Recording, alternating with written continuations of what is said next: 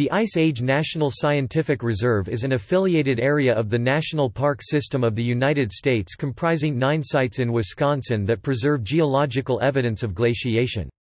To protect the scientific and scenic value of the landforms, the U.S. Congress authorized the creation of a cooperative reserve in 1964. The Scientific Reserve was established in 1971 and today encompasses some 32,500 acres 13,200 hectares.